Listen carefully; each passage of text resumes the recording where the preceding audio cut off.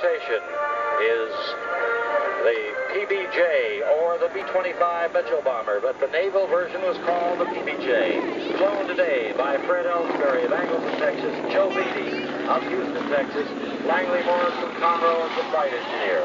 The number two aircraft, Fat Cat, the PB-2 Neptune, harpoon brother, an anti-submarine patrol bomber, flown by Norm Turner